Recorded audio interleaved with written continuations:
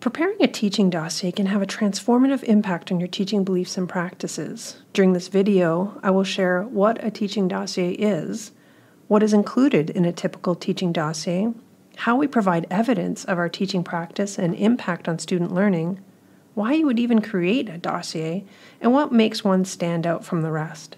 There are a variety of reasons that instructors prepare a teaching dossier. More and more applications for tenure track faculty positions, especially those that have a strong teaching focus, require a teaching dossier as part of the application requirements. Well presented teaching dossier does set candidates apart. Advancing through the faculty ranks. Most institutions require a teaching dossier as part of the tenure and renewal package as a form of evidence for your contributions to teaching. Teaching dossiers allow us to accurately capture the breadth and depth of teaching and learning practices. They also provide an important form of evidence if you're ever going to go forward for teaching awards and honors. But perhaps most importantly, teaching dossiers allow us to reflect on our teaching and expertise and to reflect on why we're doing what we're doing in our teaching and learning practices. A dossier is a thoughtfully chosen, curated collection of evidence that documents the scope and quality of your teaching practice as we've discussed, evidencing the impact of one's teaching practice and its impact on student learning is inherently complex. The dossier format allows us to capture the richness of our practices as instructors. Take about 10 seconds to think of some of the ways that we informally or formally show evidence of our teaching impact on student learning. My guess is that things like course evaluations or student course experience surveys, as they're called at Brock, student comments, or having a peer observe our teaching may have popped to mind. But there are many other ways to provide evidence of the scope and quality of our teaching expertise, and these typically come from three different perspectives ourselves, students, and our peers. Rest assured that you are the most important form of evidence. No one knows more about your teaching experiences or materials or can put the evidence you receive or collect into context. For example, summary of teaching experiences in terms of courses you have taught, fundamental beliefs. Teaching materials, example assignments, and lesson plans that provide evidence of how you put your beliefs into action. Summary of new course innovations and development that speak to your ability to innovate. Overview of engagement and professional learning activities such as workshops, programs, conferences, courses related to teaching and learning, engagement in the scholarship of teaching and learning, or critical reflection such as your perceptions of engagement impact, and success. Putting information and data into context. Students also provide a critical source of evidence of our teaching effectiveness and impact. Of course, for many courses, formal student evaluations, or student course experience surveys, as they're called at Brock, typically ask students' perceptions of your effectiveness as an instructor, your organization, or the quality of feedback and fairness of your assessments. Even open ended student comments about your strengths and areas for improvement may be available at the end of the semester. In addition to formal end of term course evaluations, many instructors collect mid semester evaluations such as a start, stop, and continue, or they use a one minute paper technique after teaching a challenging course concept. These may ask What was the most important thing you learned? What was the muddiest point? What further questions do you have? Letters of support from former students that discuss how your teaching has impacted their learning can also provide evidence of your teaching. Or informal, unsolicited emails that talk about the impact of specific teaching approaches, strategies, or assessments that have had on their learning and development can also be included. Some instructors may also include examples of student work and assignments that provide exemplary examples of how your teaching approaches, feedback, or assessment strategies have helped them demonstrate the intended learning in the course.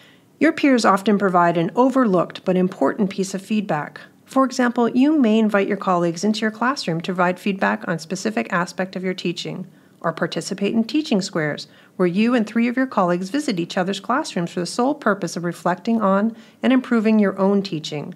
Another form of evidence from peers is having your peers peer review and provide feedback on your teaching materials, such as course outlines or assignments, and demonstrating how you have improved or changed these materials based on this feedback. You can also solicit letters from colleagues to discuss how you have impacted their teaching approaches and development, or that have provided more informal feedback about what they have learned from you as an instructor.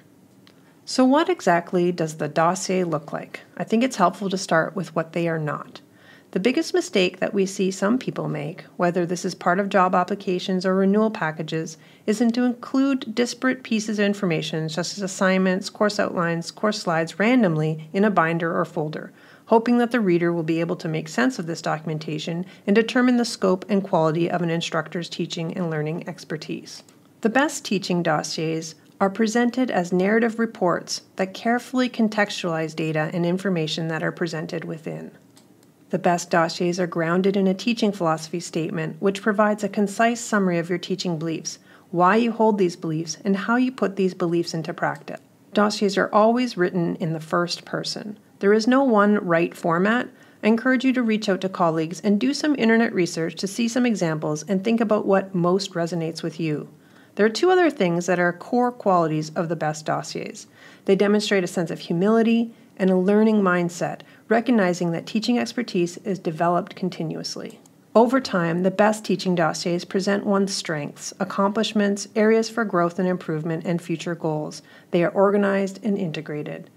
A clear table of contents, subheadings, and a clear narrative flow from section to section can help the reader get a clear picture of the scope and impact of your practice and clearly see how they relate back to your fundamental beliefs about teaching and learning.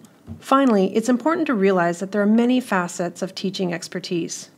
Teaching expertise is also demonstrated through our engagement and commitment to professional learning and development, our ability to mentor others, whether that be students, postdoctoral scholars, or our peers, our ability to apply and engage in inquiry and research related to our teaching, our educational leadership practices, whether that be engaging or enabling other teaching colleagues, actively participating in or leading communities, action groups, or specific initiatives related to teaching and learning. A typical table of contents will include various sections, including, but not limited to, a teaching philosophy, a summary of your teaching responsibilities, example teaching practices and supporting materials, student feedback, peer feedback, your engagement in professional learning and development, educational service and leadership, awards and recognition, goals, and an appendix. If you're just starting out, don't worry. Most people starting out might start with two or three sections, such as the teaching philosophy, teaching responsibility, teaching practices, and supporting materials and future goals. I encourage you to think about which of these sections best apply to you and start there. Next to preparing a teaching philosophy, creating a table of contents is always the first step we recommend to those just starting the process. Regardless of where you start, think about listing what you have done in each of these sections, describing what you have done and its impact to others. Remember that you are the only one that can contextualize your practice for others. Finally, reflecting upon what you have done in terms of how it relates back to your beliefs, how it demonstrates your strengths and future areas for growth, what you have learned through these experiences, and your future goals. People often struggle most with critically reflecting on their experiences, but I can tell you that this reflective narrative is exactly what clearly differentiates the best teaching dossiers. What does this look like in practice? In each section, include a final summary paragraph for all information, data, and evidence presented that answers the following questions What have you learned? How did these connect back to your philosophy and practices? And what did they say about your strengths and future areas for growth? How you continue to grow and develop your educational practice based on these data? What actions will you take to grow and improve? Keep in mind that also the best dossiers are organized to ensure two types of alignment Number one, horizontal alignment, where clear links are made between your beliefs, teaching strategies, and the evidence presented.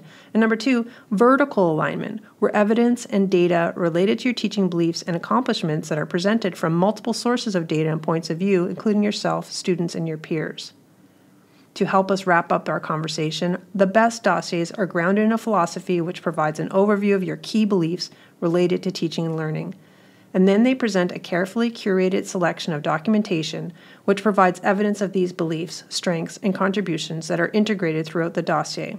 The dossier should make explicit how this evidence aligns back to their teaching beliefs and philosophy. Strong dossiers will provide evidence from multiple perspectives, whether that be yourself, colleagues and students, and data sources, in order to clearly demonstrate both the scope and impact of your practice. The absolute best dossiers capture the authentic voice of the nominee and are grounded in a strong reflective narrative that provides the reader with a clear understanding of the author's beliefs, approaches, contributions, expertise, and strengths. This narrative should guide the reader towards an understanding of why the author does what they do to support teaching and learning, the contextual factors that have influenced their teaching approaches and development, and how they continue to grow and improve into the future.